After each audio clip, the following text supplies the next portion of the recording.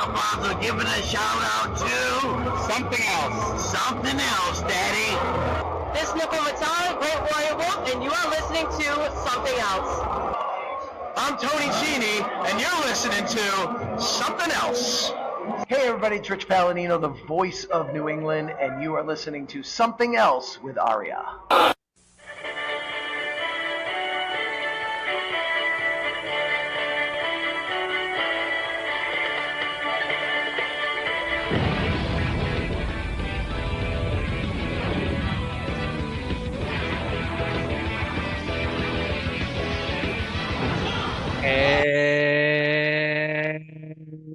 Welcome to episode number 103 of Something Else. It is Wednesday, so that means only one thing.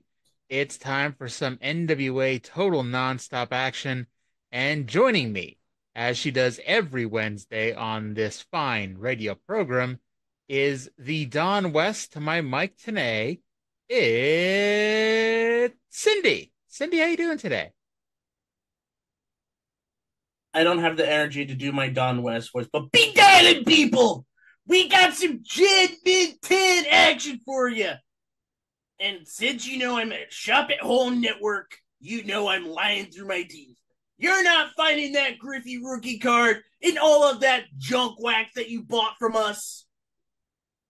Jim Mc, Gem Mint 10 Derek Jeter rookie cards, damn it. That's what we all need. So, TNA, we not only got through one episode, we only got through two episodes. We're not getting through number three. And man, oh man, the, these shows, um, they could be better. Um, certainly can't get much worse. Oh, they will. Oh, trust me. Yeah. Next week. I, I'm I've watched uh I've well I've rewatched. I watched I, I think we mentioned this before. The first time I tried watching these episodes, I made it a year up to the point when Disco Inferno becomes top heel and world title challenger. And I like honestly the way these are going, like Jesus Christ, I'm shocked I haven't already quit. Because I've made it through six episodes and oh my god. Like I guess spoiler for future weeks what kept me going in the early episodes was the X Division. And the problem is, even in 2012, watching this stuff from 2002 was great and, you know, still innovative to a point. Nowadays, it's like, I, I hate to say this, you know, it's passe compared, you know, in a lot of ways to the athleticism, if nothing else, um, of 2024 wrestling. Mm-hmm. And so it takes the one thing that I found enjoyable enjoyable about it away, um, because there's a lot of crap on these shows coming up. Oh, yeah. And it's like there's shit that it's like, how on earth? Because I like I don't even know how the hell Jerry Jarrett allowed it. Because yeah, we'll get to the issues they have, and some of it was Russo getting shit in unchecked. Um, because you know, it's supposed to be uh, Russo's ideas, Jerry Jarrett editing them to make sense into whatever becomes TNA. And unfortunately, there are times where shit just goes through without Jerry's approval, allegedly. Uh, if Jerry Jarrett was the filter for these first shows that we've watched right now, I am also low key grateful he did not take over in 1994 for for Vince if he was found guilty. I- mean, in his book, he claims he was that he was uh, rewriting all the formats and all the scripts, and it. I don't know. You know, I'd like to think that he wouldn't be taking credit for something so awful if it wasn't his idea. Maybe it's his southern charm, I guess. Let's just get to it. All right, so it's NWA Total Nonstop Action number three, July 3rd, 2002, from the Municipal Auditorium in Nashville, Tennessee. It is the location, well, it was it's the city of the next 108 pay-per-views, Nashville, Tennessee. Now, the next three weeks, they're in the Municipal Auditorium, which is the big building in Nashville. Um, but then Jeff and Jerry Jarrett quickly smartened up and realized that they could not come close to filling such a large building. So from week six on, they would be at the Nashville Fairgrounds. Now, the big draw to this week's show is we're going to crown new NWA Tag Team Champions in a one night, four team tournament. And also, Ken Shamrock and AJ Styles will defend their respective championships. And I note that the crowd is hot for the open, and we'll see if they stay that way. Yeah, you also have the matches. Well, Ken Shamrock versus Malice that was set up last week. Mm-hmm. And how did David Young get a title shot?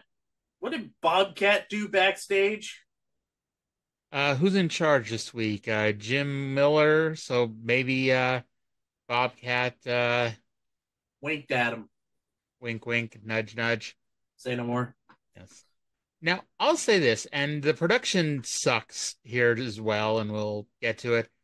Even with a large building, I thought there, it looked like a lot of people were there. Yeah. Yeah, maybe it was just the way it was shot, but, and that was one of the things TNA always did really well, was they made uh, sometimes empty buildings look a lot fuller than it was, Mhm.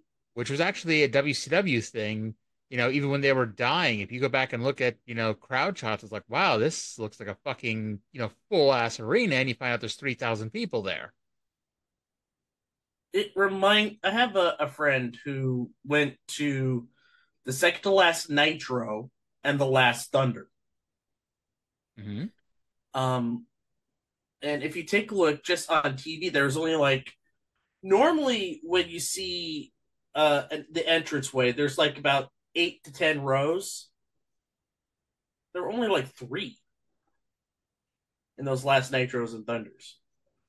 Interesting. Okay, so apparently we have an exception. Three Yeah. rows. Damn. But it was the second to last show. Yeah. And it was dead. So Spoiler alert: WCW dies. Now, I know that there was a lot of pyro on this show, and to me, that shows that they've already gotten the false information about their buy rates from their pay per view guy, and Yep. they're starting to dangerously overspend. And uh, that brings us actually to the open of the show, where Mike Tenay introduces a very sweaty man whose name is allegedly Jim Miller, and he's the president of the NWA. I say allegedly because the graphic lists him as Jim Wilson. Welcome to TNA. Mr. Wilson, thanks for the trophy. He gives him a giant ass trophy for some reason, and then he announces that he has found a Japanese wrestler named Omori, who will be here next week to challenge for the NWA World Title. You also forget about the main event of the show being Jarrett and K-Krush versus Brian Christopher and Scott Hall. That is the main event. Uh, Scott Hall and Brian Lawler or Brian Christopher or whatever the hell he's being called this week versus K-Krush and Scott Hall. So, I mean, in theory, you know, I mean, it helps they didn't really announce much of anything, but in theory, it sounds like a deep card. We're gonna have a tag team title tournament. We're gonna have AJ Styles defending the X Division title. We're gonna have a world title match, and then we have four of our big names in a tag team main event. It sounds pretty stacked. But then you break it down as we start with our first match, and you realize not really. Chris Harris and James Storm versus the Johnsons with Mortimer Plumtree in a first round tag team title match. Um, last week, Harris and Storm were told to take their shirts off and go wrestle the gay team because the Redneck Hillbilly team hates gay people. So the team that would become America's Most Wanted had their first two matches against the gay team and the penises. Uh, Mortimer cuts a pre-match promo, and I know he has a really good delivery. Yeah. Um, I think what he was in the same uh NWA territory. I think it was like Anarchy, um, where Styles was, and a lot of the guys that you would come to see in the X division came up in. Maybe Wild Side. Yeah. Um, so by the way, the Johnsons without their masks were the Shane twins, who were actually the NWA Tag Team Champions until TNA became a thing. So, he, he, I, I guess in a way it's to keep, well, I say to keep the titles linear, but we're going to find out that doesn't even matter anyway. But uh, Harris punches one of them in the head, hits a Thesz press. I don't know which is worse, punching the Johnson in the head or giving him the Thesz press. Um, Uh, equally bad. Uh, by the way, uh, wanted to circle back. Mortimer, Mortimer, Mortimer Plumtree has a cricket bat. Um, I'd like to say he is 22 years ahead of his time now. Indeed, uh, that uh, that that uh, is a yeah, folks. When you're listening to this, three weeks ago there was the was it the Cricket World Cup or is it some sort of cricket tournament that yeah. U.S. is doing well in ish. Um. So let's see here. Uh, ha- uh, they get the heat on Storm. Harris yells encouragement, which consists of "Get out of the corner." Um, Storm hits a super kick, makes a hot tag, uh, and breaks down to a four way. And Harris gets a victory on one of the Johnsons after he catches Harris on a crossbody, and Storm hits Harris in the back with a missile drop kick. Um, and so Harris lands on top of him for the win. Um, after the match, Mortimer shoved the Johnsons, so they shoved him down and walked off. And I believe, and I believe I am correct, that this is the end of the Johnsons. Yep, they are done. Um, a couple of lines that I had written down here. Uh, one of them from Ed Ferrara.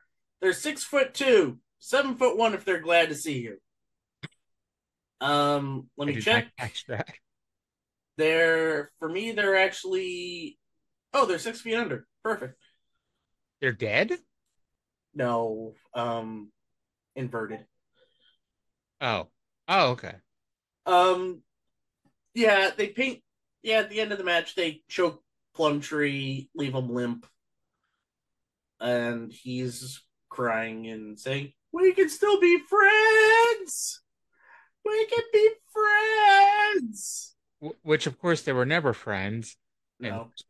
Now, now, and it's hilarious because in 2002, they were really counting on the Johnsons as one of those gimmicks of like, hey, this is going to make TNA. Is look at this great, awesome idea we have for a gimmick. Two men dressed like penises, and they're gone in three weeks.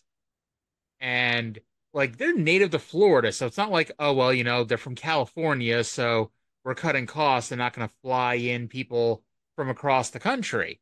No, no, they could have fucking driven if they really wanted to up to uh, Nashville for the shows. Um, but nope, no more Johnsons. The next time we see them on national television, they're managed by Simon Dean as the Gymini. a much better gimmick. They still never uh, like. I think they got less of a push in WWE than they did in TNA. They had two matches. I think the Gymini had about five or six. I I was at the show they debuted, and I don't remember them doing anything else ever. I, I mean, I'm sure I'm not. I'm sure you're not lying. I'm sure they had five or six matches. I just, you know, don't remember them at all. Probably Velocity. Probably. Uh, by the way, I gave that match a 3.0 out of 10. I kind of liked it more than you did. You know, the whole show to me felt like a rush Saturday night taping. And I'll be honest, I mean, that isn't necessarily a bad thing. You know, if you're going to compare it to Saturday night, I mean, it's not a bad thing if you're comparing it to the good Saturday night, the Saturday night everybody remembers. If you're comparing it to 1999, where the shows were 99% uh, natural born, well, the future natural born thrillers, um, that's, you know, something else. We'll talk more about that because I really want to dive into Saturday night in 99 and 2000. Okay. Um, Borash is in the ring and he introduces. Uh, by the way, 5 out of 10. oh, okay. Yeah, you really like that more than I did. Yeah. Uh, Borash introduces Scott Hall, who, like we mentioned earlier, will team with Brian Christopher against Jarrett and K-Krush. He gets out of Hey Yo when Jarrett interrupts. Jarrett tells him to take his ass where he came from, bitch. Those are strong words. So Hall challenges Jarrett to get his ass in the ring. Jarrett charges the ring, but is told to stop by either Jim Miller or Jim Wilson. Uh, Jim told him to leave or listen. Jarrett was nice enough to leave and wait for the main event. Wilson told him he'll take Hall when they tell him they'll take him. Crush runs in from the crowd to attack Hall, and Hall had zero problem with K-Krush, dropping him with the sack of shit slam and giving him a clothesline out of the ring. Nice to know that you're uh, also you also listen to Murky D because I had in my notes Scott Hall comes to cut a come to the ring and cut a promo, or he would, but a wild slapnuts appears and calls Scott Hall a bitch. Timeless. Uh, in the back, Goldilocks is standing around, and Chris Harris and James Storm have been savagely beaten down and are wearing the Crimson Mask. They literally were in the ring like four minutes ago, and they go to the back, and they have already gotten their ass kicked so badly that they are left unconscious and bloody. And Goldilocks had time to find them. And the pacing is horrendous. And since Goldilocks, you know, she didn't come upon them while the ass kicking was taking place, the ass kicking was so fast that one of the, in theory, two best tag teams in the company got their asses kicked so quickly and decisively that who the mystery attackers were able to quickly run away so Goldilocks could walk in and discover them and go drag a cameraman with her to report on this another thing we need to bring up. Um, you are watching this on TNA Plus. I'm watching the live pay per view edits.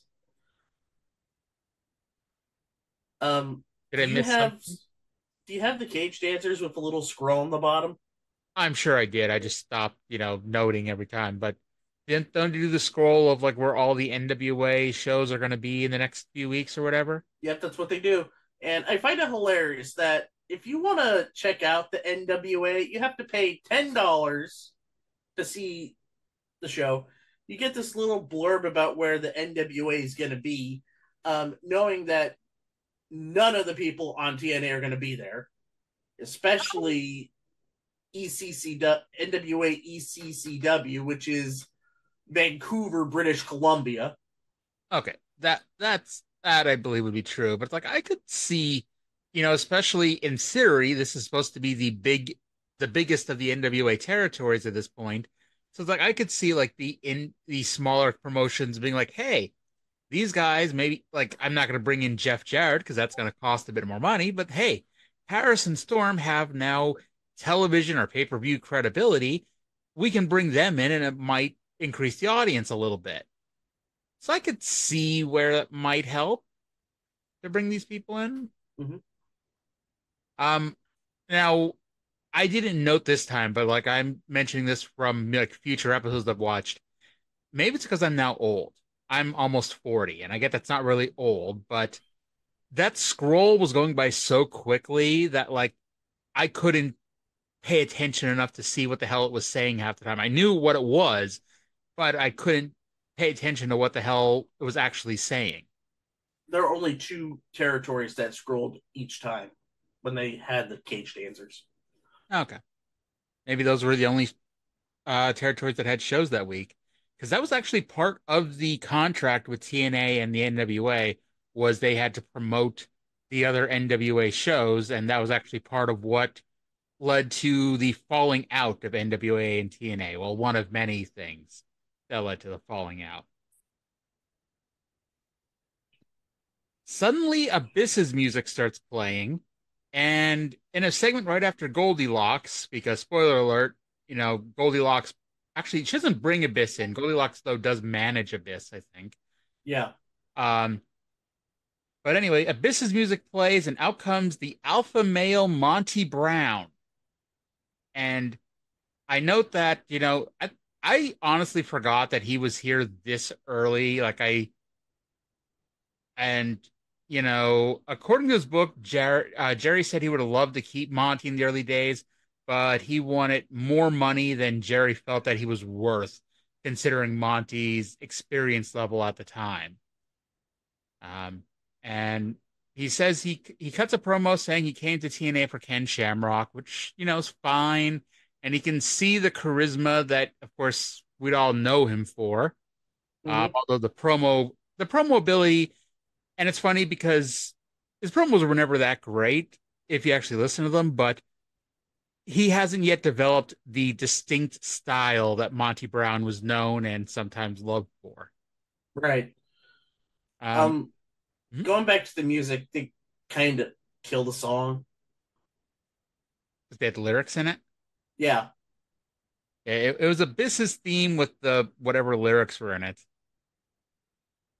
Um, but I'll tell you what, that's definitely improvement of some of the fucking songs we've had on this show. So Mhm. there is that. By the way, his opponent is Anthony Ingram. If you don't know who he is, don't worry because nobody else does either. Um, Ingram goes for a splash in the corner, but Brown catches him and hits a power slam and then wins with the Alpha Bomb. It's 2002, so you just add your name to the word bomb, and that is your finish. Um, I for a squash match, I must have liked this because I gave it a 1.5. I gave it a two. Oh, can we? We need to talk about this promo. Goldilocks is backstage talking with random security people, and she cannot find Jim Miller. It's been three minutes for the love of Christ.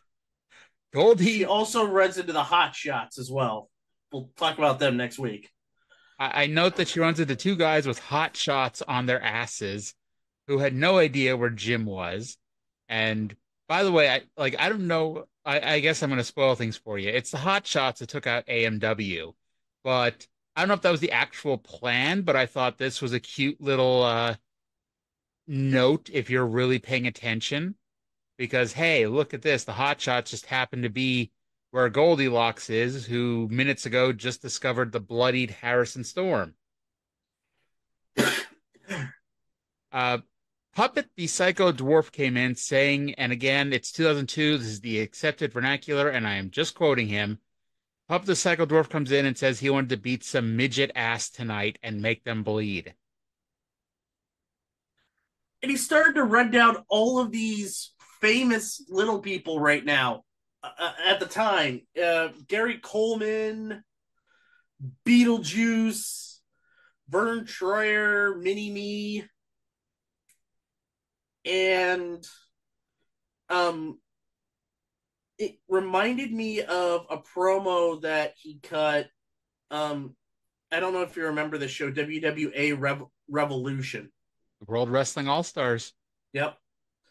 Around the, the the same cadence, the same promo. Um, it worked, I guess. But the WW, if you wanted to know what the WW, what TNA was before TNA, the WWA is not a bad uh comparison. Pretty much, because if you watch the WWA shows, like, well, first of all, they were fucking atrocious, but by and large, you had a lot of the people who made up the TNA roster, especially the early TNA roster. Yep.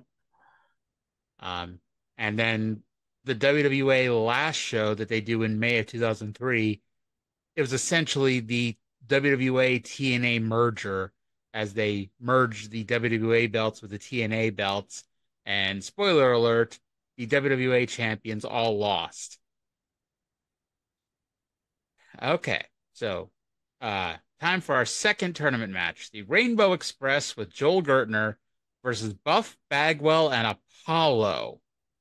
So the two teams in the first match qualified because they won their matches on the prior two shows. These two teams, one of them is zero and one, and the other one had never teamed before. And we talked about this last week, I think it was, where you were asking who the fourth team was. And I'm like, I'm not going to tell you, but, you know, you'll never guess it. Yeah. Um, before the match, Buff Bagwell cut a promo. Was like, "Hey, rookie, you're number two. I'm number one. You follow me. I'm number one. You number two. You know." I, God, Apollo looked surprised at being considered the second best wrestler behind Buff Bagwell, but uh, they did vow to become the tag team champions. Um, so Don West continues to be disgusted by Lenny and Bruce, who patted each other on the ass as the match started. Uh, Bagwell gets in a couple offensive moves on Bruce, but instead of continuing on, he begins showboating and gets cut off. Alicia makes her weekly appearance walking to ringside, and this week it's Ed Ferrara who gave her money. Um, but he says that this is not what we are thinking it is, so it, it is not prostitution. Apollo tags in and they run wild uh, while we watched Alicia get the money from Ferrara. Joel distracts Apollo, which allows Lenny and Bruce to take over. The Express kissed in and out, and they hit the Haas and Benjamin double team where one leapfrogs over the other, which will be the only time in the I will ever compare the Rainbow Express to Charlie Haas and Shelton Benjamin. And the funny thing is, this is before Haas and Benjamin become a team, so technically, Haas and Benjamin stole that from the Rainbow Express. Nah, I've I've seen the Midnight Express do that move also. So I would rather think that they stole it from Lenny and Bruce than Bob Eaton and Stan Lane. Um, yeah. oh, well. Uh, let's see here. So Apollo, they get the heat on Apollo. Apollo, ma- uh, he makes his own comeback, but then makes the cold tag to Bagwell. Bagwell runs wild and then falls outside with Lenny. Uh, he was trying to do a crossbody, but they just couldn't time it right, so they just fell out of the ring. Apollo super kicked Bruce in the ring and hit the TKO, but Lenny attacked from behind. Apollo sent was sent outside as Bagwell hits the blockbuster. Instead of making the cover, Bagwell celebrates and he eats a super kick for the pin. So the Rainbow Express win and advance over Apollo and Bagwell. Um, after the match, the announcers rip on Bagwell for showboating after every move. Ed Ferrara goes and interviews Buff, who says he is not Buff, but he is Marcus. So I am not a muscle. I am a man. his name is Marcus Bagwell, folks. Um, and this, match was shit. and it's the end of Buff and TNA. Oh, that's right. He's done after this. Yes. Uh, and by the way, I don't just mean it's the end of Buff because he's coming back as Marcus Bagwell. No, no, it's the end of Marcus Bagwell in TNA. Funny thing is, uh, well, I mean, I say the match was fine for what it was, and they gave it a 2.5, but, you know, yeah, it, it was the weaker of the two first round matches. I'll also add that we will see Buff again in TNA, but not in a wrestling capacity. He will be part of the uh, tease of 2006 of who is Sting's partner in a tag team, who would wind up being Samoa Joe. I was gonna say, I'm not sure if you're gonna say it or not, but like, you know, even if we do reach that point and we watch these shows past the weekly pay-per-view era, um, you know, by that point it's uh whatchamacallit, uh people may have forgotten who we're talking about if we say it. Uh what did you give uh that as a rating? A one. Okay. So we pretty much evened it out here. You know. Yeah. We pretty much agreed on the Monty Brown match. You liked the first a lot more, and I apparently liked the second match more. Talking like, Yeah. shockingly. The world heavyweight champion has decided now, after three matches, a promo segment, and a bunch of miscellaneous angles backstage, that it is time to make an appearance. Ken Shamrock wanders out to the stage and says he is confused about what is going on. He rips on Monty Brown for wanting a title shot, saying to watch what he wishes for. He puts down the quote unquote Japanese punk he has to wrestle next week and said he would be happy to shove Monty's head up his ass instead of, you know, Omori's head up his ass. The lights go out and we are magically whisked away to section C2, where Jim Mitchell is standing there, telling Shamrock not to worry about Monty Brown or Omori, but to fear Malice. The lights go up and Malice is standing above Shamrock's fallen body. So now we have two injury angles on the same show. Um, and the cosmic ballet goes on, I guess. Yeah, I mean Russo's writing the show, so I guess I should be happy we haven't had five injury angles on the same show already. They did this injury, multiple injury angle at the same time. Remember in WCW '99 when Luger was like breaking everybody's forearms? Yep. And like half the roster had casts. Yep. So are you thinking this is going to lead to a lumberjack match for everybody who's been injured this week wears a cast? No, Okay. not enough forethought. and plus, half those people would be gone anyways because of budget cuts. And, and it's funny because that was a Kevin Sullivan angle because that was after Russo got fired the first time. Wow, Yeah. So so maybe two we're thousand. maybe we're wrong. Maybe these are all great angles because the you know great bookers like Jerry Jarrett and Kevin and yeah yeah Kevin Sullivan uh, think about them. Um, Goldilocks is continuing to wander around backstage and and runs across Jerry Lynn asking Bill Behrens to replace Harris and Storm in the tag team title tournament. Bill blows him off, and Jerry Lynn just walks away. So, and I mean, you might ask yourself, you know, does Jerry Lynn have a tag team partner? That's not the point. The the point is, you know, you don't need a tag team partner to qualify for the tag team title tournament. We've seen that already. Yeah, look at Bagwell and Apollo. Yes. There had to have been another team because like we had so many goddamn tag team matches already. Who the well the Dupps?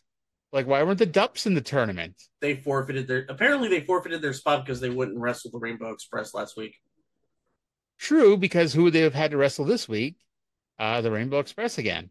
Yeah. Um, all right, or he could have switched it to the Rainbow Express versus the Johnsons. That could have been interesting. And then Harris and Storm versus the Dupps. That's two on the nose. Indeed, indeed, indeed. Um, Puppet the Psycho Dwarf versus Todd Stone. As I've mentioned already, in pro wrestling parlance, Little People Wrestling was referred to as midget wrestling for decades. In more recent days, it has been changed to more politically correct terminology. I feel like I have to say that because if I don't, somebody will listen to the show for the first time ever and hear me say midget, and, you know, the 12 people who listen to the show will be really angry at me. Todd Stone, I, I, I guess, you know, complaint, one complaint after another here. Todd Stone looks like a two legged Zach Gowen. And I think Yikes! I think he may weigh more than Gowen. Uh, anyway, Puppet beats on him with a kendo stick and a trash can. The humor, of course, is that Puppet hates midgets despite being one himself and is facing a little person who's actually taller than him. Uh, Puppet puts a trash can over him and picks up the win with a TKO on the trash can. Okay. Um, after the match, Puppet hit both Slick Johnson and Jeremy Borash with a kendo stick before going outside the ring and hitting Don West with it. Don was congratulating him, but he said the magic word which was, little. if nothing else, the crowd was into this. Um, that I so Puppet wins. I give it a 1.0 out of 10. Yeah, uh, I had a two, but my feeling is now more like a 1.5. Goldilocks, who has now been on the show about 15 times, is interviewing the EMTs who are dealing with Ken Shamrock, and they don't know if Shamrock will be able to wrestle tonight or not. And they, it, we, we now get a non title match. A non title match. Now, I laugh, and you're thinking, okay, we, we have two champions of TNA. We have Ken Shamrock, we just noted he's injured. He's supposed to wrestle Malice later, but he's injured. So, you know, well, mm, it's probably not him. And we mentioned AJ Styles is going to wrestle. He's the X Division champion. Maybe Arya and uh, Cyndi misspoke. Maybe it's a non title match he has. No, no, no, no, no. The non title match we're going to have is Miss TNA Taylor Vaughn versus Francine. I legit didn't think Francine ever came back after last week. Told you she came back for a couple times. Uh, Francine takes off a belt that was wrapped around her boot and beats Taylor with it before the match. Taylor then stood up, completely no selling it, took the belt from referee Scott Armstrong, and beat Francine with it. Scott tries to do his job, but Taylor hits him with the belt. And then, despite the bell never ringing to start the match, Scott disqualified Taylor Vaughn. Blame Tiny for not ringing the bell the first time. After the match, Ed Ferrara raises Francine's hand and grabs her boob, so Francine beat him with the belt. Again. He did he they did this last week. So I, have got an important question to ask. Since she now has a non-title win, does this mean Francine is going to be getting a title match? Um, she could. Now, I try to give every match at least a 0.1. However, some matches don't even deserve that. Zero. I, I, it was wasn't a match. I'm convinced it wasn't a match. Well, the bell rang at least once, and there was a winner declared. Call so, it a mistake and move on. We are 53 minutes into the show at this point. 53 minutes! And we've had five matches and a shitload of angles, most of which I have already forgotten. And then it's time for more angles. Jeremy Borash introduces Hermie Sadler, who keeps showing up for some reason. Hermie thanks the fans for supporting NASCAR, which, of course, that's what we want here on our wrestling show. This brings out K-Krush, who thankfully already has new music. He tells Hermie to shut the fuck up. He doesn't quite say that, but you know, the, the intention is there. He tells Hermie none of these idiot fans like NASCAR, so Hermie tackles one of the top two heels in the company, top, maybe top three if you include Malice. He tackles one of the top heels in the company to the mat and then needed to be held back by his pit crew from kicking his ass. And then Crush got held back from by security. And they said that next week it is him versus Hermie Sadler in a match that really happens. What did both of us think of the match? Find out next week. The results are going to surprise you. I don't know if the results will, will surprise you or not. I mean, I, well, I, am trying to get people to listen to the next show. We're doing a better job of hyping up the next show than TNA are. Very true. You know, although I'd like to think if we had R-Truth versus Hermie Sadler on our show in 2024, it would mean a lot more than it did for TNA. Okay, so 15 minutes ago, Malice might get some promotion on the hub, on the, the NASCAR race hub, but they just canceled that. I was going to say on the bump, but I think they canceled that too. That's because we need more first things first on Fox Sports One. so 15 minutes ago, Malice beat up Ken Shamrock so badly that he was carried off in a neck brace. Eight minutes ago, it was doubtful he could wrestle. Well, our next match is NWA World Heavyweight Champion Ken Shamrock versus Malice with Jim Mitchell. And I've been bitching about music from minute one of TNA. I love the Disciples of the New Church theme song. It is a good theme. It's like, you know how you request something off of Fiverr and it's a multitude of things off of Fiverr? You know, you get like, you mentioned a couple weeks ago, they request like 20 wrestling themes and you might get two that are really good and the rest are crap. This is one of the two. Yes.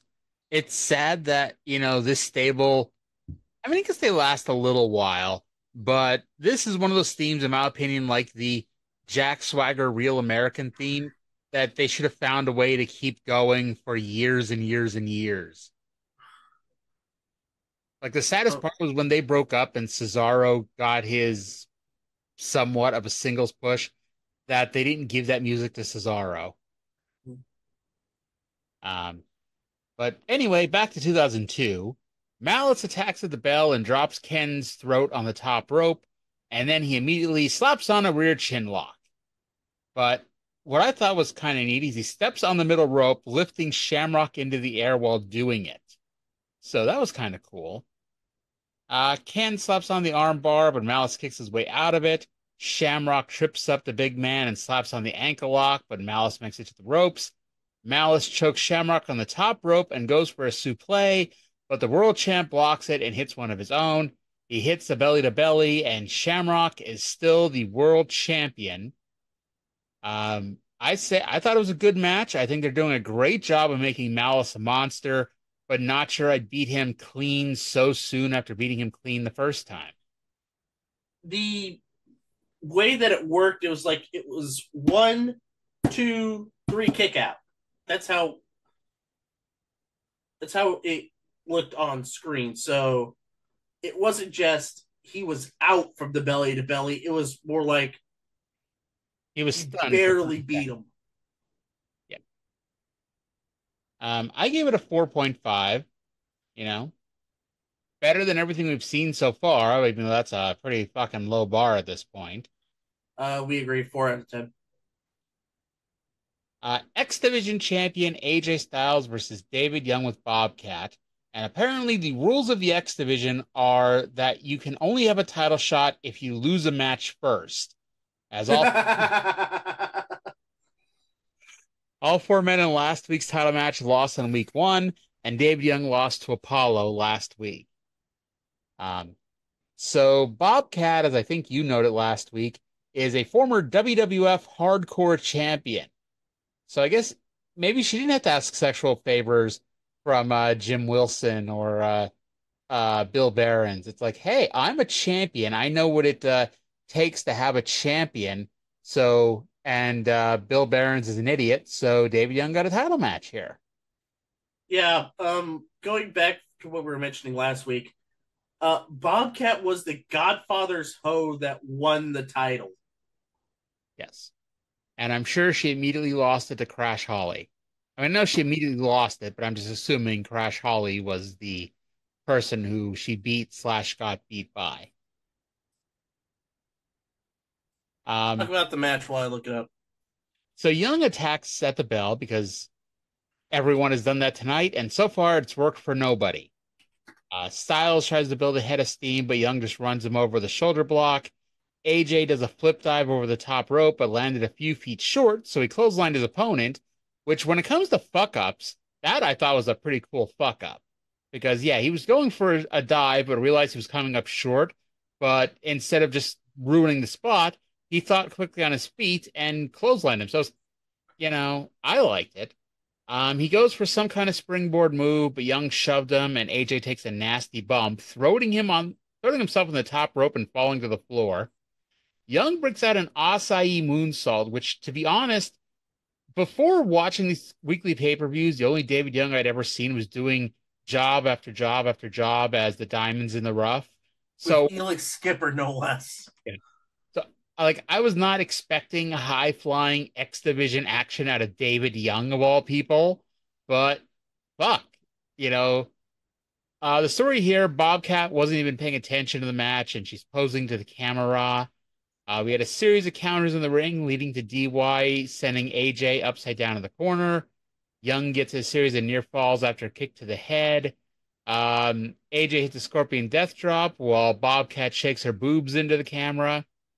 And we get a series of reversals. Young hits an awesome looking spine buster for a two count. And they built up The cab driver slam, the cab driver slam. they, they build up Young as having this great spine buster, and it was a nice spine buster. Yeah. And AJ kicks out of two, and Young just doesn't care and just keeps moving on. Uh, the finish, he sets AJ up on the ropes, goes for Hurricanrana, but AJ blocks it and hits an avalanche styles clash for the win. Um, after the match, Bobcat, the manager of the loser of the match, uh, gets in the ring and danced around, so AJ shoved her down and left with the belt. Bobcat didn't seem that upset by it because she just continued to dance while David Young looked perplexed. I think this may have been the best match in David Young's entire TNA career. He's here for like five years, and like I can't tell you one other, you know, great David Young match. I gave this a 7.0. It was sloppy at points, but I thought it was still really good. I gave it a six. Uh, it was like in between the Asai moonsault and the spine buster. There was like nothing there. I, I will say, AJ Styles, this is his third match. This is his second win.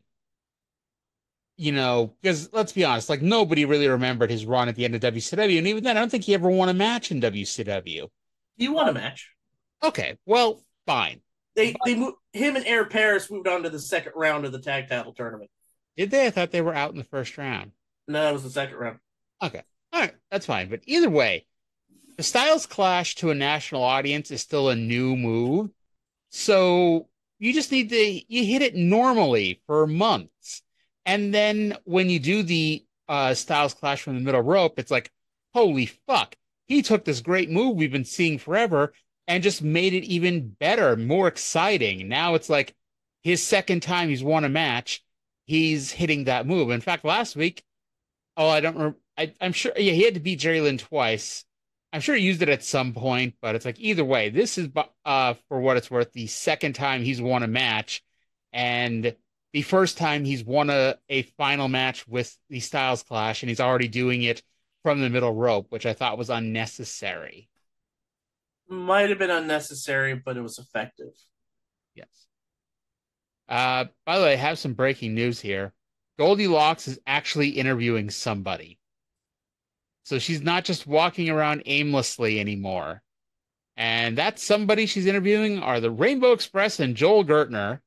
Uh, Joel hits on her while the Express told her to get her hair fixed. And Gertner says that, hey, if there's no opponent, they win the belts by forfeit. And then he forced himself on Goldilocks. So out come the Rainbow Express uh, for the match.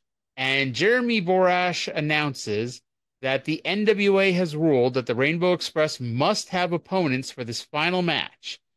So they introduced their opponents, Jerry Lynn and AJ Styles. Now, of course, AJ just wrestled in a match that just ended two minutes ago. And here he is now back for a tag team title match. And I love this. Um, I'm gonna end up not loving the AJ Styles Jerry Lynn tag team, but I love this for this one night here anyway. And uh, you know, spoiler, they win. You know, shockingly, AJ and Jerry Lynn uh get the win here. Um Lynn hits a reverse DDT. Uh, AJ hits a Hurricanrana. Uh, the four way breaks out. Lenny does a skull crushing finale. Um, Lynn hits yep. the power driver on Lenny. Lynn takes Bruce out of the ring, and AJ hits the spiral tap for the win. And so Don West got his wish last week that Jerry Lynn would also get a title belt. And he's sharing it with AJ. By the way, I, here's what I had at the beginning of this. Story was AJ had wrestled not 50 seconds ago and now has to wrestle a completely different style with a guy who he beat for the title last week and has to go up against AJ's biggest nemesis Lenny Lane, the gay community. The gay community. oh Lord, that I, am sure AJ because you know we've we've all said stupid things in our lives, and that was 20 years ago. So I, I would hope that uh, AJ is a more open individual than he was then. You know, but thankfully, if he's not, he's not, hasn't been stupid enough to publicly announce it. And uh, how about in 2018 when they had Talking Smack? Bryan Danielson outs AJ Styles as a flat earther. See, I, unless I'm forgetting this, and I, I remember being there at the time. I think it was so much he wasn't a flat earther, but like he was willing to accept arguments and willing to listen to people making that argument. and you're like, I guess like I can accept him wanting to be open and you know listen to differing points of view. And then three years later, he shows up on Crowder. Okay. I did I don't remember that at all.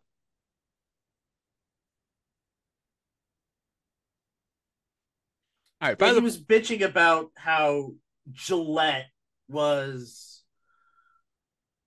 like changing their slogan to the best that anyone can get from Gillette, the best a man can get. And so it was like woke, like uh, boo wokeness stuff like that. some people just have fucking problems. I I guess You can take the boy out of the South, but you can't take the South out of the boy. To be fair, has he left the South? No, he lives in Gainesville, Georgia. Well, I know that's where he's announced, but where does he actually live? That's where he lives. Okay. All right. Uh, by the way, I gave this match a 7.0. Oh, we agree. It's like, I like, I will get to it at the end of the show, but it's like, like these, the first hour and the second hour are two completely different wrestling shows. And I, I, mean, I guess I should probably wait till the end of the show to say this, but it's like, if that's what TNA is, where the first hour is some wacky bullshit, but the last things in your memory is a bunch of really good wrestling with re- either really good or at least really over wrestlers. It's like, I'll accept that and I'd watch it, you know? So I, like I said, I'm really, I really enjoyed this last hour of the show. Um, and again, we still have, you know, a little bit to go here. We still have the main event, but it's like, again, it's like two entirely different shows. It's like, you know, Russo wrote two hours of shit, and Jerry Jarrett only had time to fix one hour of it. Yeah. And yeah, I'm sure there's Russo apologists out there who are like, well, I ain't giving Russo the shit. Maybe Jerry Jarrett wrote two hours of shit and Russo wrote the stuff you like. Fine. If Russo wrote the stuff that I liked on this show, then credit to Vince Russo. However, knowing Vince Russo's style of writing, I have my doubts. We'll say that. hmm Uh, by the way, what pussies Harris and Storm were, huh? Shamrock got taken out, and 15 minutes later, he was not only back, but he won his match. Harris and Storm were beaten up over an hour earlier, and they just, I didn't think they appeared for like three weeks. They would show back up when they moved to the fairgrounds. Yeah. So in three weeks, when they moved to the fairgrounds, Harris and Storm finally returned from this ass kicking. Um, backstage, security people are running around, and they finally find Jim Miller slash Jim Wilson, who is tied up with the letters "FU" painted on his stomach. Contin- consider the fact that this happened during the two-minute Monty Brown match. How the fuck did whomever do this do that quickly? And by the way, Jarrett works fast, doesn't he? oh yeah, and, and by the way, this is the end of Jim Miller in in TNA. One and done. yes. Sadly, we still have to deal with Bill Behrens for the next three months.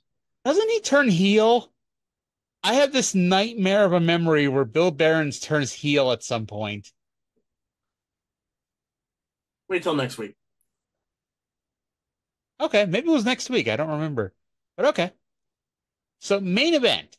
Jeff Jarrett and K-Krush versus Scott Hall and Brian Christopher, which at the very least is a perfect continuation of two of the primary feuds in the company, two of the primary non-title feuds in the company. Jarrett and Hall have been feuding since the opening segment of the first show, and Brian Christopher took K-Krush's dislike of NASCAR personally. So it's a nice way to mesh the two storylines, keep it going another week while not giving too too much away, right? Well, about that. So the baby faces hit the ring and attack at the bell. It hasn't worked for anybody tonight, so why should it work here? Um, the four men pair off, and it's a Memphis brawl. It's a Jeff Jarrett match, especially this period of time. And personally, I enjoy the Jeff Jarrett Memphis brawl, the Jeff Jarrett main event wrestling match. You know, at least till we get to the overbooked bullshit that usually permeates a Jeff Jarrett match. But I was always a fan of it. You know, it can be exciting. Uh, Hall throws Jarrett into a dancer's cage while Christopher and Crush fight into sections that don't have fans in them, which I guess is good because then you're not injuring anybody, but bad because it shows how few people are actually here after you spent all night making it look like there's a lot more people than there really were. Mhm. Uh, Chris, uh, they fight back to the ring. Jarrett, by the way, gets slammed on the announcer's table. Lawler goes for a, yeah, Lawler goes for a hip hop drop but misses. Hall hits a choke slam on Crush before being attacked by Jarrett. Uh, Don West wonders if there are any fans left to annoy after the heels have pissed off the country music fans and the NASCAR fans. Well, I guess they can annoy everyone who hates both NASCAR and country music. Um, let's see here. Jarrett, uh, Hall gives an atomic drop to Jarrett, who goes running into the referee. And oh, oh, this is after actually the big thing here. So Hall knocks Jarrett down and reaches for the tag, but Christopher's arguing with K-Krush in the opposite corner. Hall fights back again. Uh, Hall Hall fights back against Crush, and Jarrett cuts him off before making the tag. Hall clotheslines Jarrett and reaches out for the tag, but it's a swerve, and Christopher turns on Scott Hall. Uh, by the way, yeah, I am interchangeably going from Brian Christopher to Brian Lawler because that's what the announcers are doing too. And nobody can figure out what the hell his damn name is at this point. Um, and as I said before, before I jumped ahead in the report, Hall gives an atomic drop to Jarrett, who goes uh, running into the referee. Hall now has to beat on all three men by himself. He hits the outsider's edge on Crush. He goes for a second one on Jarrett, but Christopher breaks it up. He is fucking exhausted. Scott Hall's fucking exhausted at this point. Um, he had trouble with K-Krush. He had trouble with Jarrett. Uh, Jarrett hits the stroke. Christopher hits a hip hop drop to give himself the loser's share of the purse. As Hall, uh, as uh, Jeff Jarrett gets the pin, and Jarrett and K-Krush pick up the big tag team win. So, what's the point of teaming with Hall and fighting on his side for 12 or 13 minutes just to turn him in the end? Legitimately, there was no reason for this heel turn. It came out of nowhere, and the best excuse you could come up with is that Jarrett, I'm sorry, Christopher makes for a better heel than a face. And if that's the case, why book him as a face in the first place? And this is what I was saying about the Jeff Jarrett main event match. It's like, you know, I enjoy the first nine, ten minutes of a Jeff Jarrett main event match, and then the finish is usually overbooked and convoluted. And sure enough, here's the overbooked, convoluted Jeff Jarrett match main event finish. Um, so yeah, Jarrett and Crush win. I still gave it a 4.5 out of 10. I let's see here. I gave it a four. Um, I had uh Brian Christopher turns on Scott Hall, ref bum Scott Hall takes on all three of them, but the number scheme was too much. Stroke, leg drop, lull TNA. Uh, show ends with Hall being uncomfortably beat down for the last three minutes.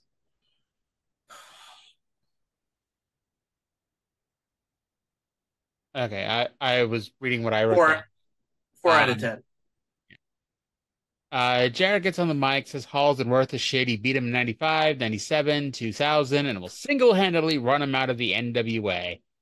Jarrett yells at TNA and then breaks the big ass trophy that TNA was given earlier. Um, the Tennessee Titans were there and they run to the guardrail, and I thought, oh my God, this is the moment. But no, it's not the moment. Um, they just yell at Jarrett while the EMTs load Hall in the stretcher. Jarrett vows to never be screwed again. Um, and Tenay, Don, and Ed ran down what we will see next week. Uh, Shamrock versus Amore, a six-way rankings match, and the return of the Flying Elvis impersonators. Yeah. Um, Looking so forward to that. so that brings us to the end of the show, and as we do every week, we uh, average out our ratings. For match quality, I have it as an average of a 3.44. I don't know if you averaged yours, but I imagine because we had very similar ratings most of the time, you're probably in that same range. I did a little bit differently. Um, how much did I enjoy the show overall?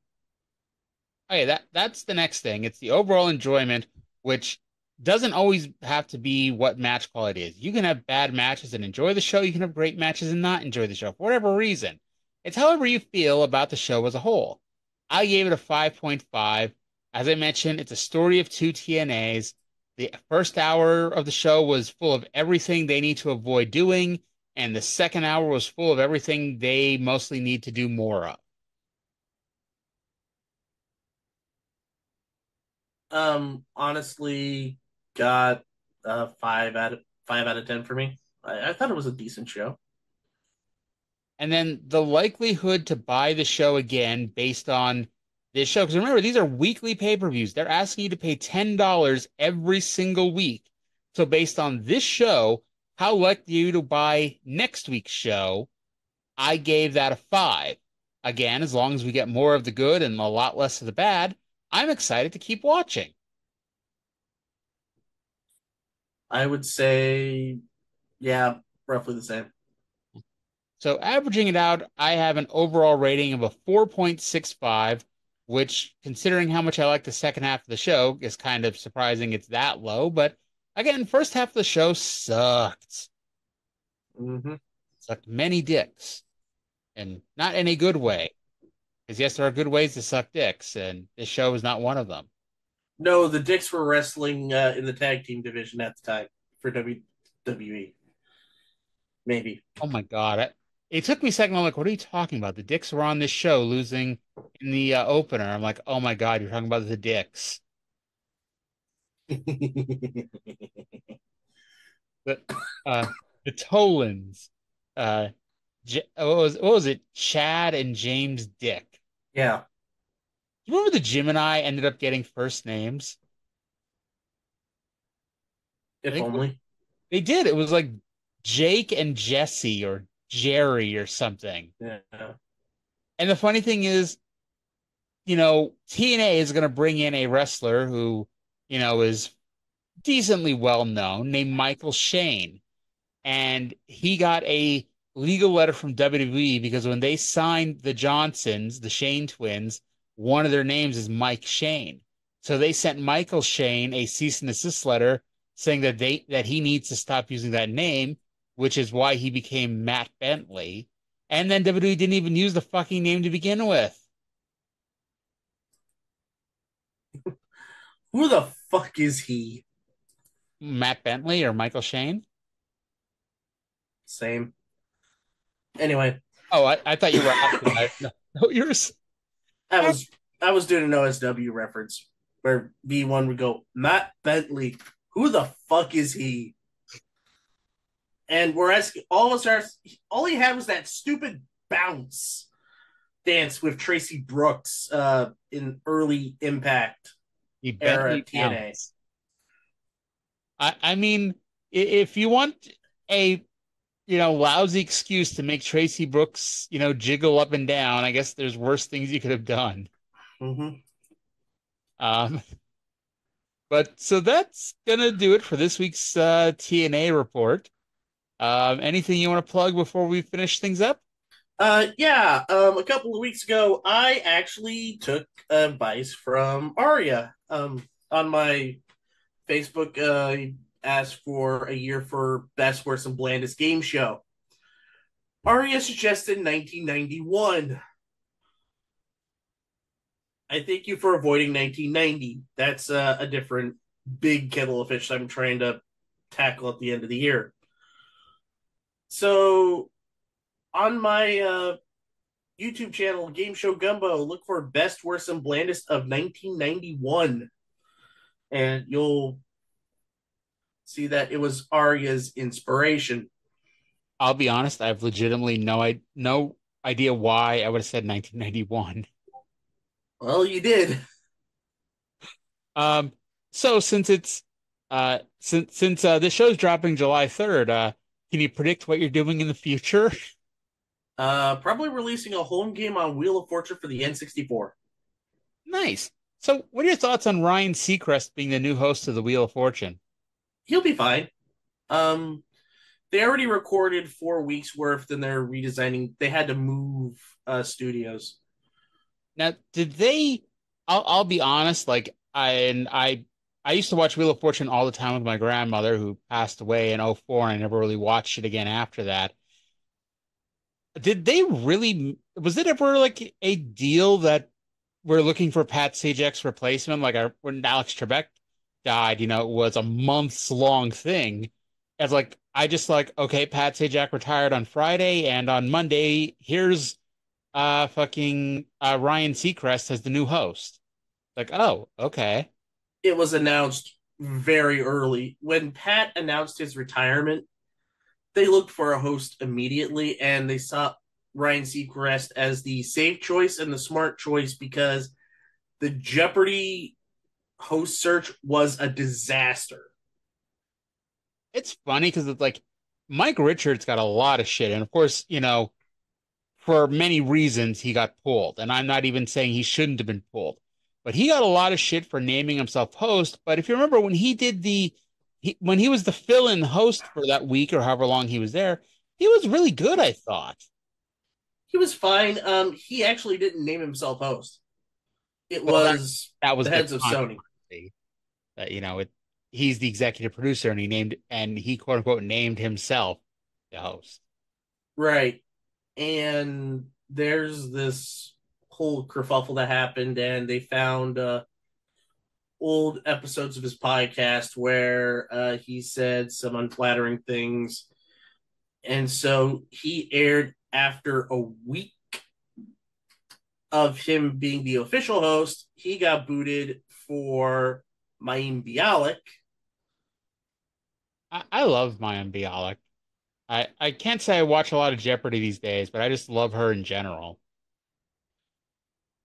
Um, the reason she got fired was because of the strikes that happened. She got fired. I thought she was still hosting the like when they do the tournaments or the prime time Nope. Jeopardy. Really?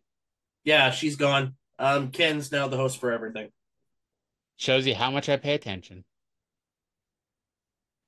People are gonna start wondering what I actually pay attention to because I, I've been on other shows talking about how I don't pay attention to modern wrestling much anymore, so I can't really talk about that.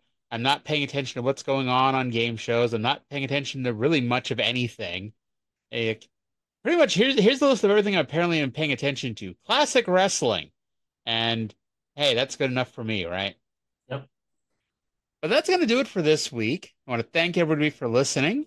And we're going to press the stop button and then press the record button again to record next week's show. So, hope you all enjoyed it. Leave some feedback, subscribe, five star reviews, thumbs up, all the good, happy shit. Because, hey, we may not have the greatest audience in the world, but, you know, the people who listen seem to enjoy this shit. So, thank you. But thank everybody for listening, and we'll talk to you again in seven days.